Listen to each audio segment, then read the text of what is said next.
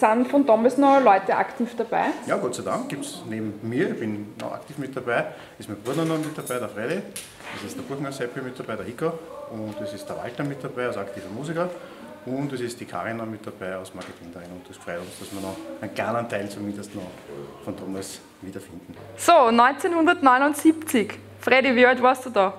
Äh, 14. Okay. Und du, Hiko, wie alt warst du? 17. Wie alt warst du damals? 14. 14. Okay. Und was hast du gespielt? Gerne drum. Gerne drum. 79 war ich 10 Jahre alt. Ja? Okay, das heißt, du warst damals bei dem Auftritt äh, der Jüngste.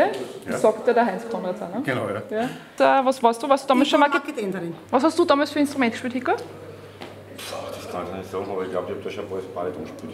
Okay. Was hast du gespielt? Du hast Klarinetten gespielt.